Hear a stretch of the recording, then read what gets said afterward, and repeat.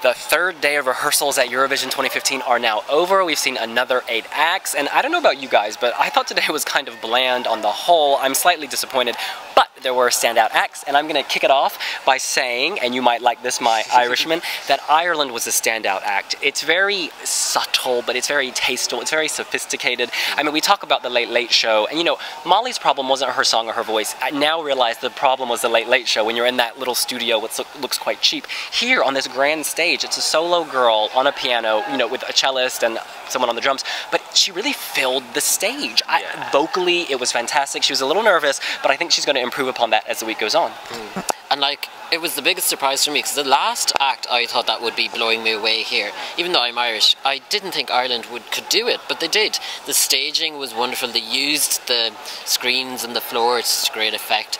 The only thing was the nerves, and then that like I think she got so nervous that at times she forgot to look at the camera. But apart from that, like it, it, worked really, really well. And it's the sort of song that you think, oh, it can only work on an intimate setting because it's so focused on Molly. But it, it really translated to the big stage very well. She grew in confidence though, like she was looking at the camera more and more as each run through went through. Um, and it was a gorgeous backdrop. That was probably one of the best that we've seen so far. Um, really confident vocals when she got that, like when she was happy with it. I do think that it will qualify now, particularly looking at what else we've seen today. Um, I think it stands out quite well at the start of the day out of all those songs, so I do, I have high hopes for Molly. And we should probably just clarify, she's sitting in a beautiful LED forest, so she's moved from kind of the dive piano bar Late Late Show into this beautiful, you know, wilderness, and she's the queen of the jungle in a sense, and it really works thematically because love is the most basic human emotion, so she's in a state of nature, bam, they are real clever. Now, Padraig, who else stands out to you? I was nearly disappointed by everyone else. Lithuania stood out just because their staging was so garish. Um, like, I wasn't a fan of it. You liked it. It improved in your estimation, I think. But I preferred the simplicity back in Eurovision.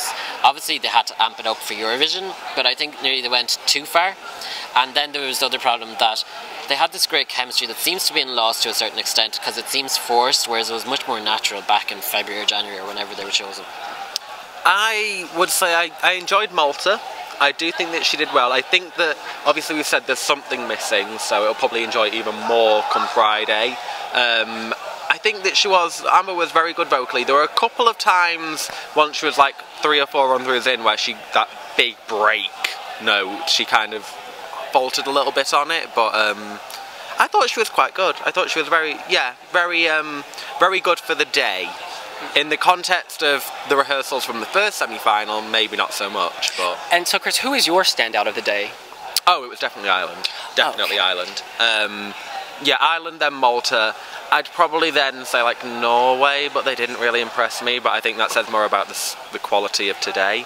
Yeah, you know what's interesting is before this semifinal rehearsal day, I thought Norway would be the standout act because the Norwegian presentation is so sophisticated, so beautiful.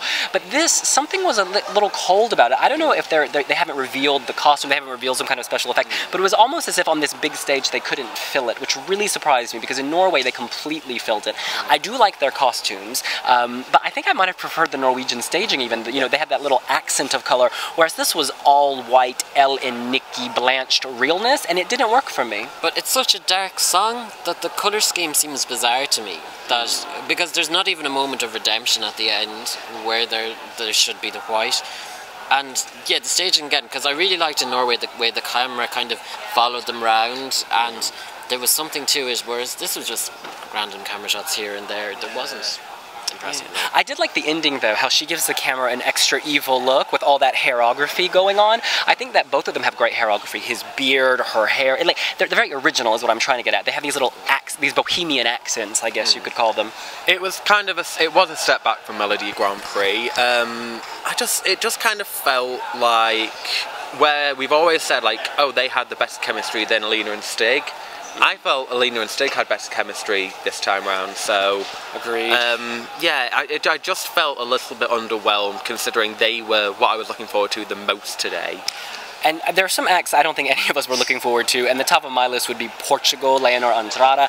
I was hoping, I was really hoping that the staging would save this, because I, I think the melody's okay, but no, it's just it's just blue and boring, and you know, she's wearing a body condom and she looks like a bat, and that's high fashion, that's it's quite fun, and you know, it's a great starting point for something colorful, but then it's just flat the whole time. The dress is the best bit of the entire performance. Like, Yeah. it was just like standard concert kind of lighting, nothing special for Eurovision.